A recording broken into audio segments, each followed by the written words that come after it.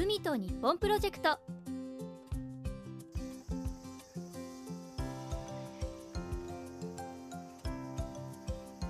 8月19日都内で開催された海洋インフォグラフィックコンテスト。小学生と美術学生がタッグを組んで海をテーマにポスター制作。この日は全国から選出された20組によるプレゼンテーションが行われました。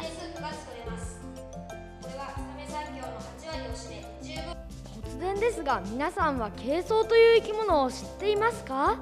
知れませんね。福井から参加した笹村達樹くんがテーマにした軽装。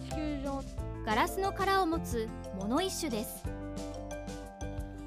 ほらこうやって合わせると唇のような形をしていて可愛いと思いませんか？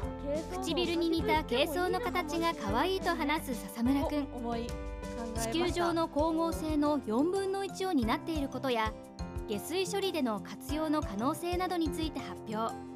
賞状特別賞笹村達樹殿。以下同文でございます。おめでとうございます。笹村くんそしてデザインを担当した吉岡さんペア。見事特別賞に輝きました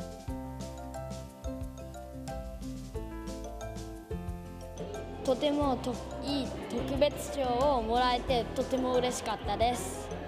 軽装研究者になり他にも僕僕が知らないことを調べていきたいなと思います。